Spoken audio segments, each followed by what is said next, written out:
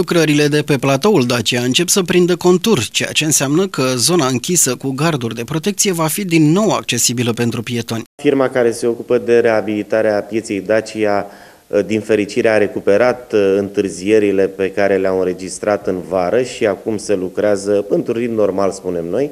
Deja a început uh, placarea cu granit a pieței Dacia. Pentru început au fost executate lucrări pe alea trandafirilor, ceea ce înseamnă că unul dintre trotuare va fi redat circulației pietonale în perioada imediat următoare. În paralel cu alea trandafirilor se plachează și fosta parcare dintre Palatul Comunal și cele două monumente din fața primăriei. Aici montarea pavajului din granit a fost repetată pentru că inițial plăcile fuseseră greșit puse.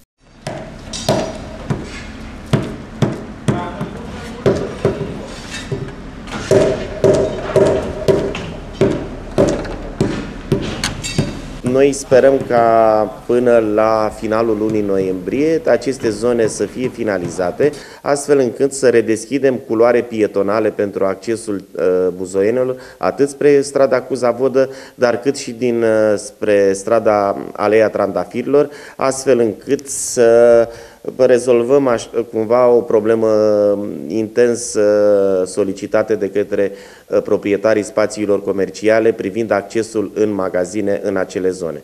În prezent, pietonii sunt nevoiți să facă ocol pentru a evita șantierul pe strada Ana Ipătescu ori pe strada 12 aprilie 372 din spatele primăriei pentru a ajunge spre tribunal ori spre alea trandafirilor.